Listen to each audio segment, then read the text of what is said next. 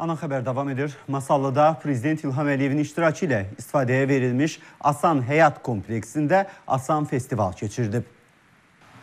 Masallı şəhərindəki Asan Həyat kompleksində Heydər Əliyev Mərkəzi, Təhsil Nazirliyi və Azərbaycan Respublikasının prezidenti yanında vətəndaşlara xidmət və sosial innovasiyalar üzrə Dövlət Agentliyinin birgə təşkilatçılığı ilə Asan festival keçirilib. Tədbirin keçirilməsində məqsəd gənclərin asudə vaxtlarının səmərəli keçirilməsi, onların intellektual inkişaf, savad və dünya görüşlərinin artırılmasına kömək göstərmək olub.